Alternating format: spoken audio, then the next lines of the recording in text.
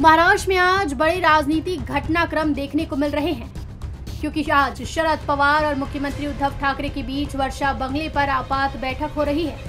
पता चला है कि बैठक में कांग्रेस के नेता भी मौजूद रहेंगे। दरअसल कल प्रधानमंत्री मोदी ने चार राज्यों में जीत के बाद ईडी की कार्रवाई की चेतावनी दी थी।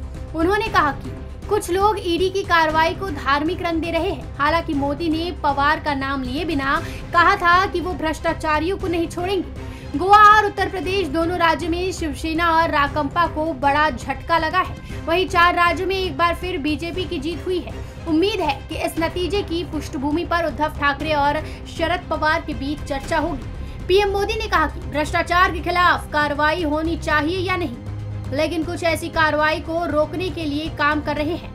ये कहकर उन्होंने शरद पवार पर निशाना साधा, क्योंकि ईडी द्वारा नवाब मलिक की गिरफ्तारी के बाद शरद पवार ने इस पर टिप्पणी की थी। पवार ने आरोप लगाया था कि मलिक को दाऊद से इसीलिए जोड़ा जा रहा है क्योंकि वो मुसलमान है। मोदी ने गुरुवार को शरद पवार की खबर ली। मेट्रो मुंबई के लिए राजेश सोनी के साथ निशा ठाकुर की रिपोर्ट।